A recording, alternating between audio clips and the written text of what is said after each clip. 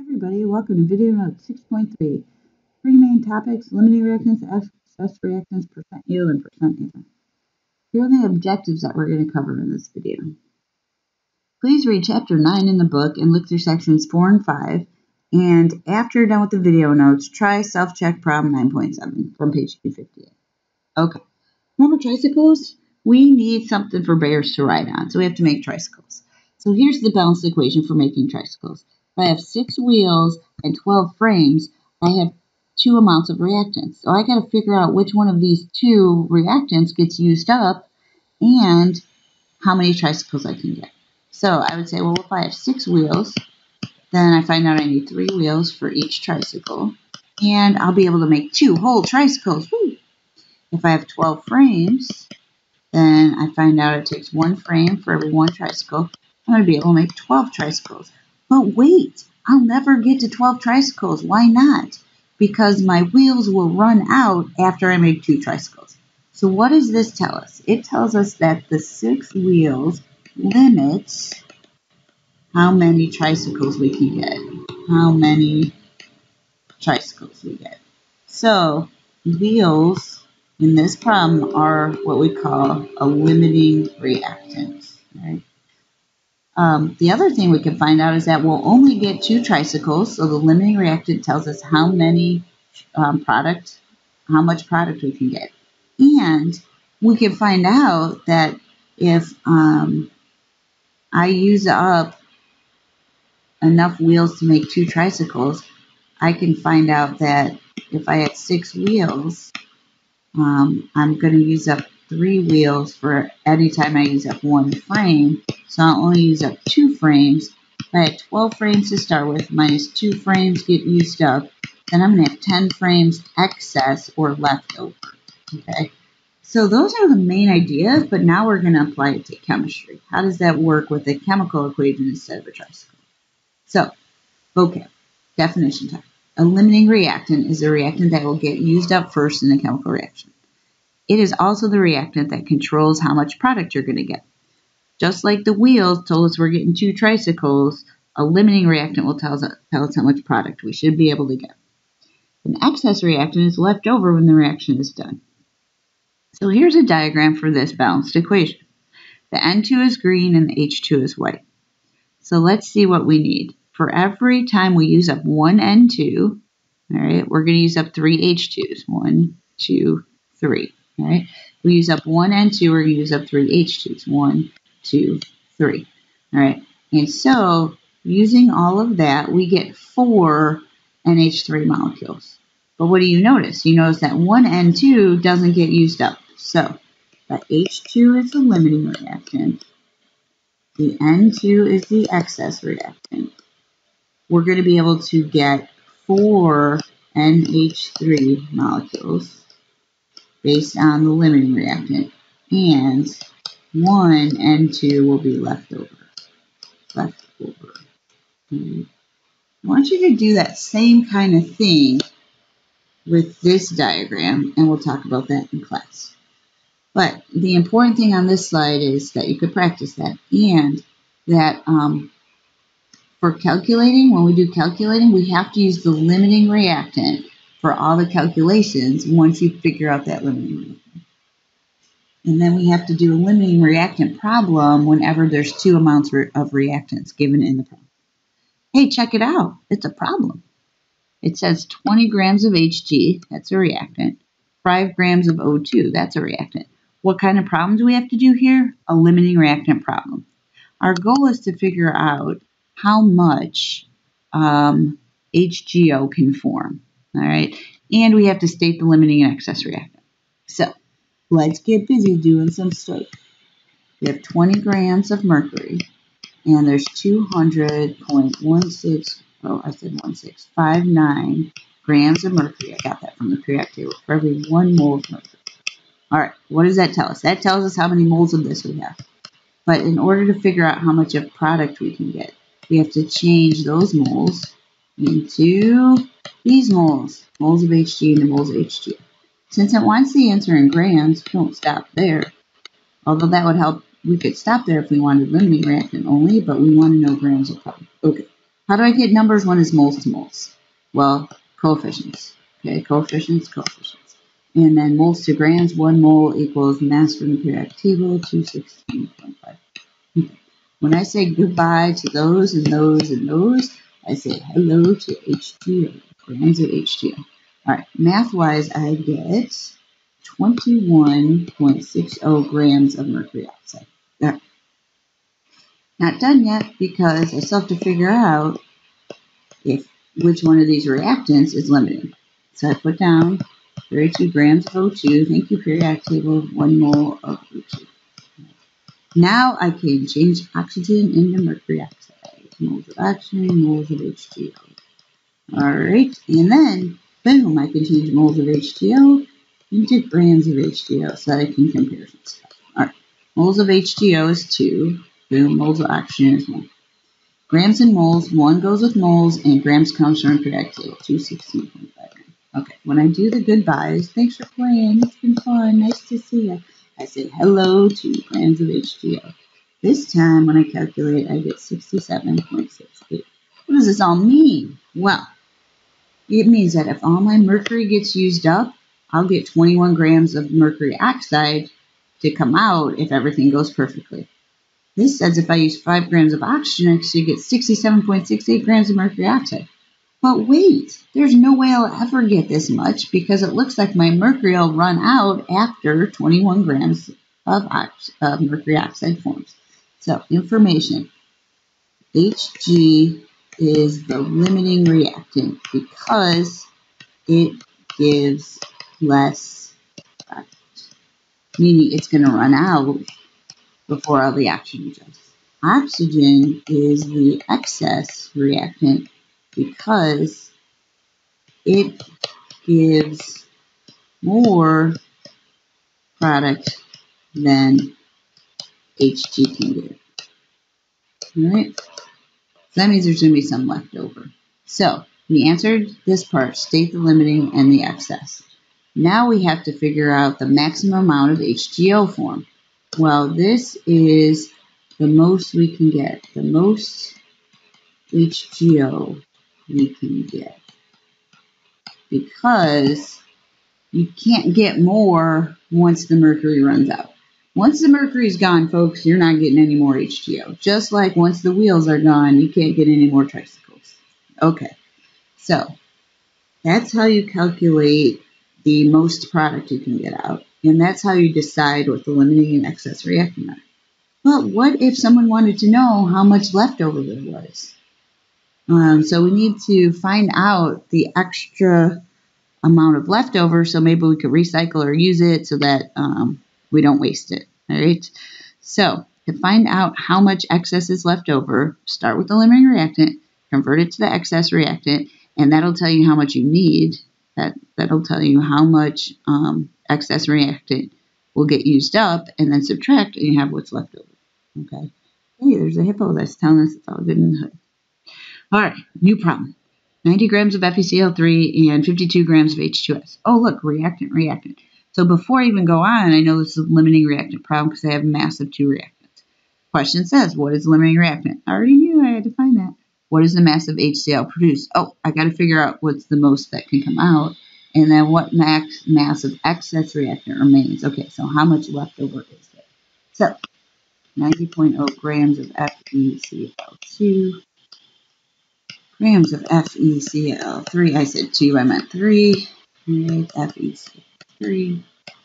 And then, once it's moles of one kind, make you balanced equation, we can change it into moles of another kind. Why did I pick HCl? The reason I picked HCl is because the problem asked about HCl. And the problem doesn't ask about moles of HCl, it asks about grams of HCl, HCl, so I'm going all the way to grams. Alright, oh, maybe this is hard, but you didn't put any numbers in those um, conversion factors yet. You read it, didn't? And I'm just going to set up all my conversions first. So, remember, change grams to moles. You'll be okay doing that. Now that I have moles, I can change one kind of mole to another. And then need to change moles of the new kind, HCl, to grams of HCl. Okay, so here's what's going on. Anytime you see moles of one kind to grams of the same stuff, One goes with moles and the periodic table is for grams. 162.20. Okay.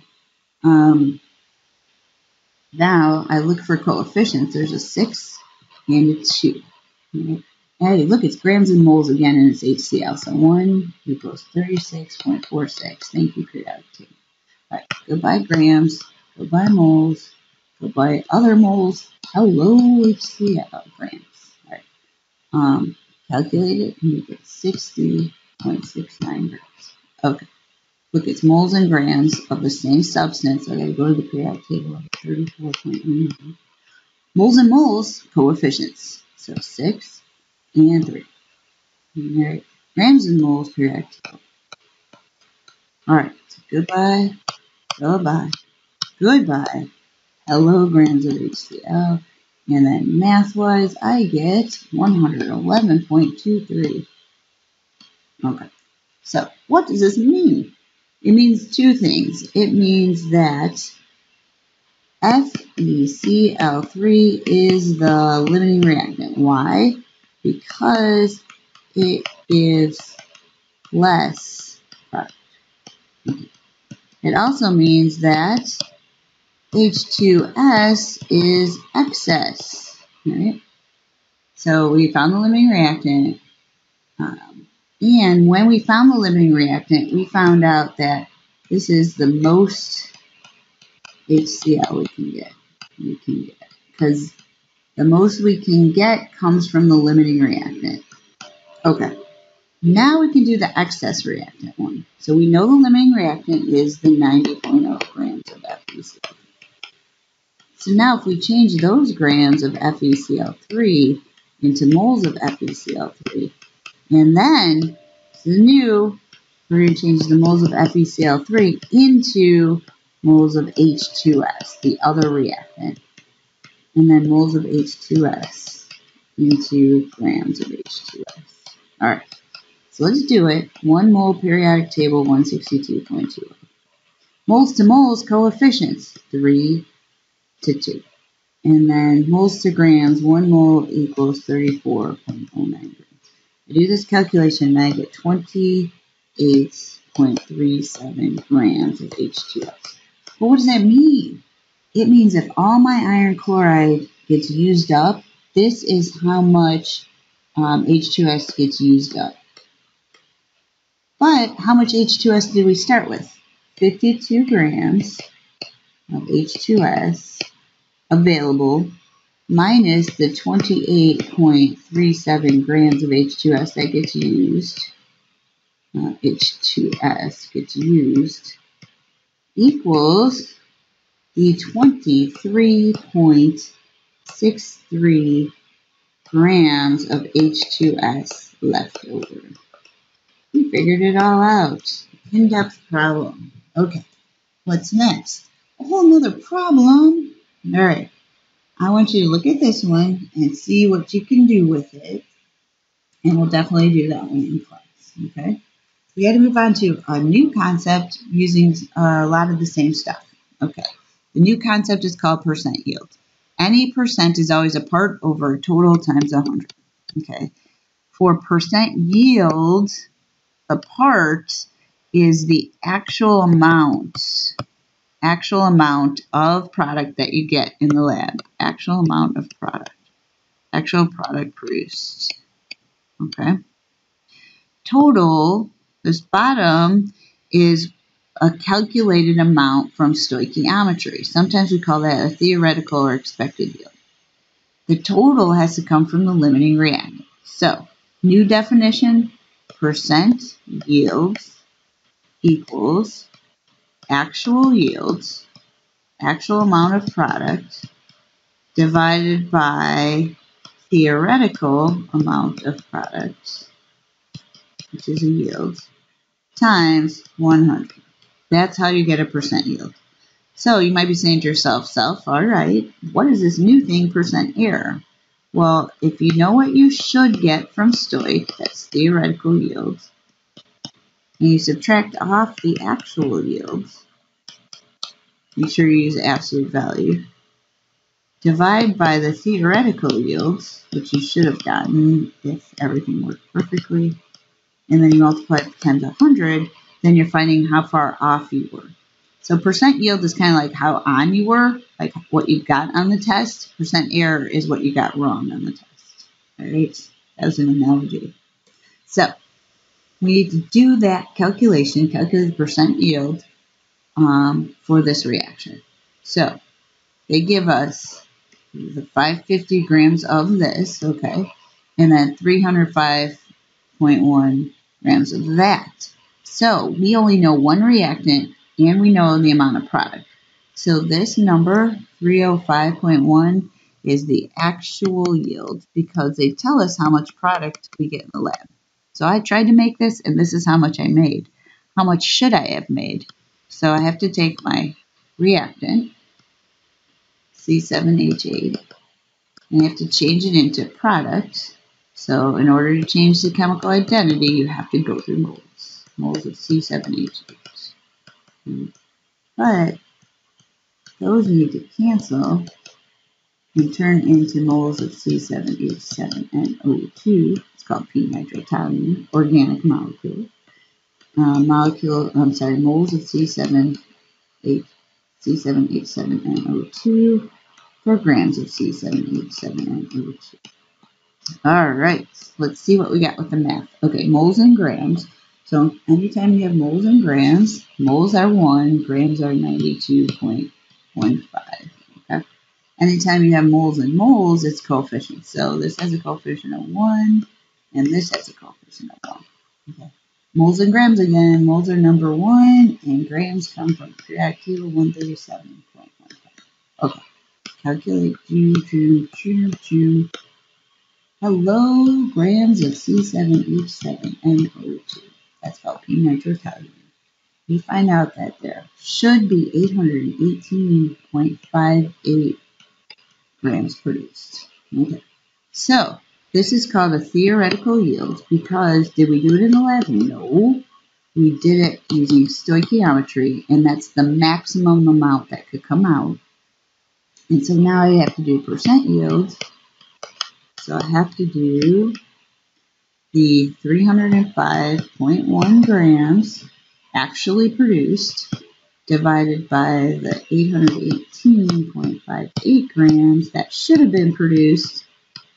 Multiply that by 100 to make it a percent. We get 37.27% yield. Okay. Right. Percent error, you can subtract that from 100 or you can just do 818.58 minus 305.1 divided by 818.58. Well, just don't forget to divide by or multiply by 100 so that you can uh, get that.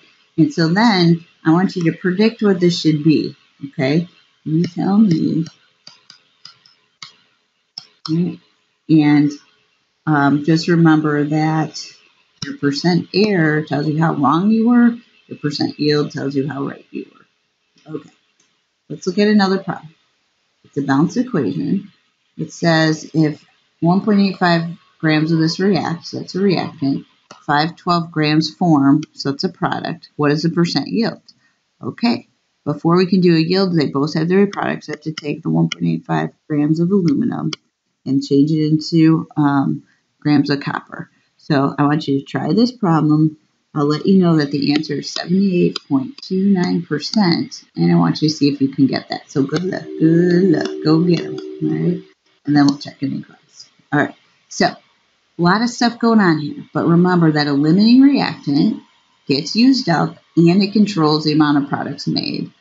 Um, it, you don't have to leave it in the moles, it can be grams, okay? So, um, I don't know why I put that there, but limiting reactant um, can start out as grams and you can use it to figure out other stuff. The excess reactant is left over. It didn't get to react because there was nothing to react with. Okay, limiting reactant is used to calculate the amount of product expected in uh, theory and the amount of excess needed, and then you can tell how much left over there is. Always go through moles Okay, three exclamation points. Percent equals part over total, which is going to be actual yield over theoretical yield for us times 100. Okay, and the total comes from stoiching up the limiting reactant. All right, this had to be shorter than the last two. Try a practice problem from the book, and we will practice until we get it. Peace out. Oh yeah, objectives. Seriously though, peace out.